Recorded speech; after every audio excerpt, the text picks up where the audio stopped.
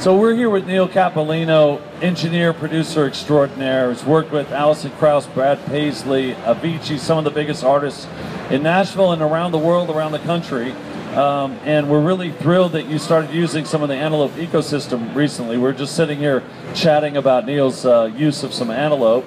Um, what tell us about some of the products you're using now from Antelope and what you're digging about them?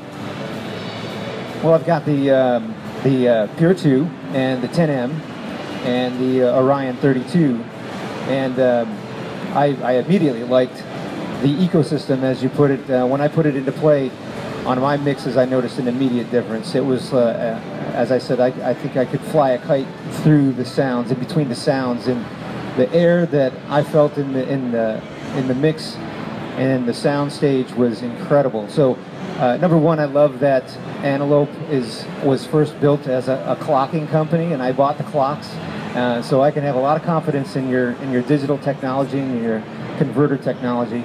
But um, I mean, I just can't tell you. I mean, it was like it hit me in the chest. I could feel differently about the mixes. I EQ less. My reverb tails are more detailed.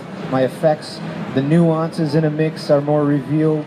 Um, everything about it just made me relax and breathe and go, ah, oh, okay, there's the music.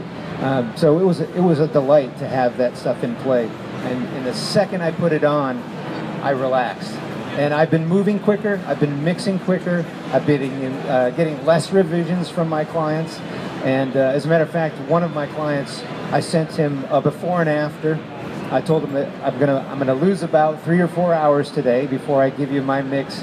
Um, I've got some new gear I want you to check out, and he was game. So I sent him a before mix and an after mix, and uh, he claims to not be a very detailed person. Uh, he's more just you know a musician and an artist, but uh, he just emailed me back one word and said "wow." And when we talked later, it was you know he picked it. It was blind. I, I didn't label them as you know antelope versus non-antelope, but he picked the winner blind, and I think that says a lot.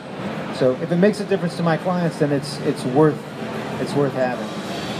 So sonically, Neal, we were chatting about the Pure 2. I know you're using the Orion, using the multi-channel. What the first piece you sort of dug into and started printing your mixes through the Pure 2 powered by the 10M. And what were you starting to say about the sound of that Pure 2?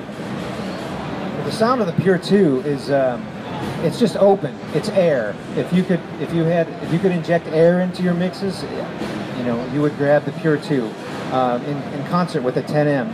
Um, that makes the biggest difference to me. Um, in terms of what I'm hearing in my mixes, it's it's air, and then you can't EQ that into a mix. That has to come in the spaces in between the sounds. It doesn't have to do with the sounds. It has to do with what's with what's not there. Uh, it's noise floor. It's harmonic distortion. It's it's uh, the the clean the clean path or the conversion. There's uh, less jitter. Uh, there's less distortion due to clocking errors. So, to me, it's what it's what's not in the in the signal anymore that doesn't have anything to do with the music, and that's what comes through with the Pure 2, and that's what that's what you feel when you play your mixes through the Pure 2 with the 10M, as you can feel that dimension come back into the music as it was when it was you know performed live.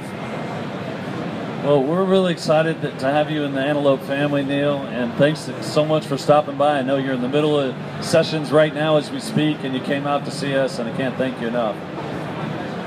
It's my pleasure. I can't say enough about the, the gear. I'm glad to have it. Thank you.